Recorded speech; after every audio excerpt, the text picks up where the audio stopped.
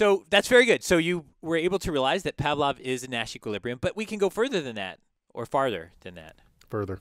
We can go further than that and show that in fact Pavlov is subgame perfect. So unlike tit for tat, it's actually uh, subgame perfect. So let's uh, let's take a look at how we could convince ourselves of that. So I think the important thing to see is that by feeding these two Pavlov machines different sequences, we can get into any of these four different combinations of states. They're both in the cooperation state.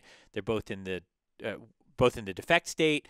One's cooperate, one's defect, one's defect, and one's cooperate. Mm-hmm. And so, is it the case that no matter which state those are in, that the average reward is going to be mutual cooperation?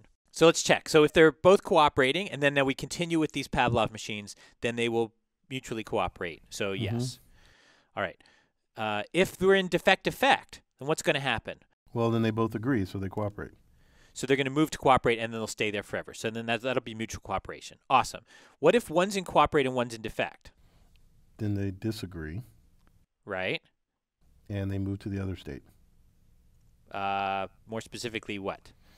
Oh, I don't know. I can't remember. I'm trying to keep track of who of who's who. So if I cooperate and you defect, then uh, let's see. The guy who cooperates moves to defect, and the guy who defects moves to defect because So you and now you agree, and so you're going to cooperate.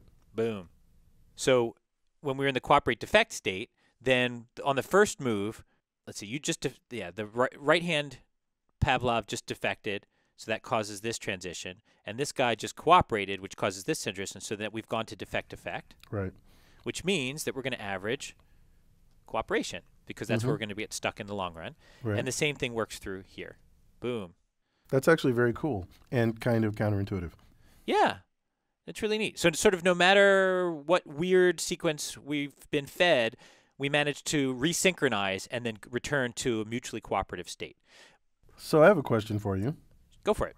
So presumably this is really cool, like mathematically, because now we should all do we should all be Pavlovians, like we're all Keynesians, and then we just kind of move forward from there. Do people do this? I I don't know the answer to that question. I mean, other Um, than men on a basketball court. Sure, you can always return to that. Though I I'm not sure I'm aware of any analyses of men on a basketball court and whether or not uh, you know people have analyzed that. Hmm. Uh, but how about this? If I find out, I will post something on the instructor comments. Okay, that sounds reasonable. So Pavlov is subgame perfect. That's awesome. So remind me again why I care that something's subgame perfect. Ah, because it means that. So let's say that you actually. So I'm being this left Pavlov, and you defect on me, and you're like, "Yeah, I'm going to defect on you because I just want to take advantage of you because you're gonna you're gonna forgive me, and I will have gotten this extra bonus for that." And what it turns out is that no, if we do Pavlov against Pavlov, we're going to fall into mutual cooperation no matter what. So so so this defection that I do, this this threat, this punishment that I deal out to you, you can earn it back and we can go back into a cooperative state. Right. So it's it's worth it to me to punish you because I know that uh, it's not going to cost me anything in the long run and it stabilizes your behavior in the short run. Sure, makes perfect sense. So it becomes a plausible threat. I like it.